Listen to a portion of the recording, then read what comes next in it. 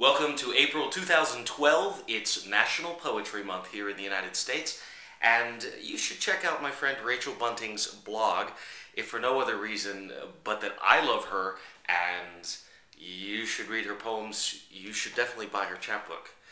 And she's not even paying me to say that. As Rachel says in her blog today, it's kind of like Christmas for poets. I mean, we decorate, we've got posters we put. I mean, there's this whole like national Poetry Day poster with a, with a quote from Philip Levine. Uh, you've probably been seeing it everywhere, unless you don't read poetry blogs, and then you haven't. The only difference about this month and December, nobody ever gives me gifts for National Poetry Month. I'm just throwing that out there. Uh, it was kind of fun. It was a great exercise.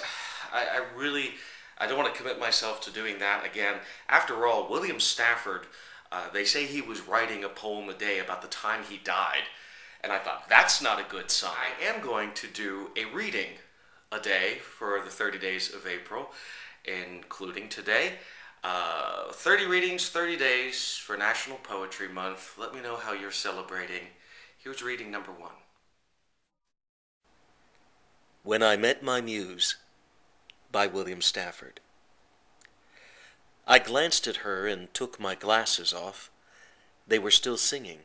They buzzed like a locust on the coffee table, and then ceased. Her voice belled forth, and the sunlight bent.